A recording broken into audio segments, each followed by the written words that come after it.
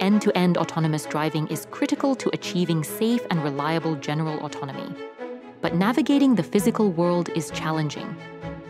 Current AV development is modular with components for object detection, tracking, trajectory prediction, path planning, and control. But this approach can fall short in real world scenarios.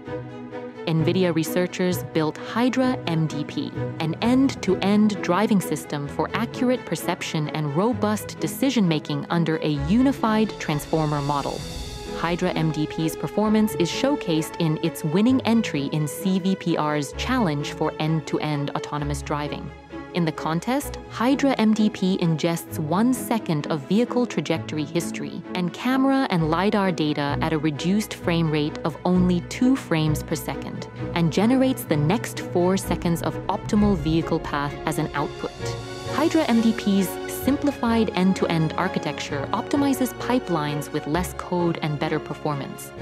Our model can learn from real world and simulated driving data. This enables easier handling of rare corner cases and dangerous scenarios. And the ability to more easily mimic human driving, providing a more comfortable and predictable experience. And with NVIDIA Omniverse Cloud Sensor RTX APIs, AV developers can test and validate the results of AV models in physically based virtual environments. Hydra MDP is only the beginning. NVIDIA research is driving breakthroughs in end to end systems for generative physical AI across industries.